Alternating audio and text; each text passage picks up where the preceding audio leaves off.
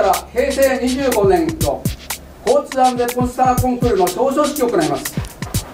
身長8年生です鳥崎小学校4年安永平陸殿はい。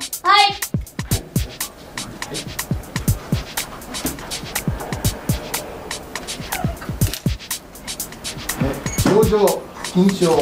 八戸市立豊豊崎小学校4年安安川平陸殿あなたの作品は平成25年度交通安全ポスターコンクールにおいて当初の成績を収められました。よってこれを称します平成25年10月4日一般財団法人青森県交通安全協会八戸地区交通安全協会会長白石八戸警察署長刑事生大丸親方青い森新規交通安全協力会会長村立義臣おめ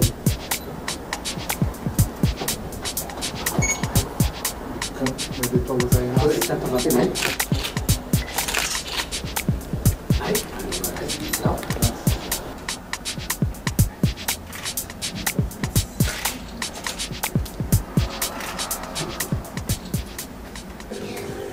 豊崎小学校の安賀平陸です。超嬉しかったです。自転車の絵を上手に描いたところです。うんと横断歩道とか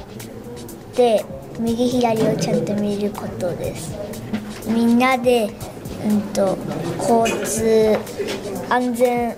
を守って事故がなくなるようにしたいです東中学校のふるさとひなです。と本当にまさか取れるとは思わなかったんで嬉しいです。と飛び出しがないようにと信号無視をしないようにするように作りました。赤信号で渡ると命を落とす可能性もあるので止まってちゃんと信号を見ようっていう気持ちで行きました。このポスターが少しでもえっと学生とかの呼びかけになるようにしたいと思います。2個あった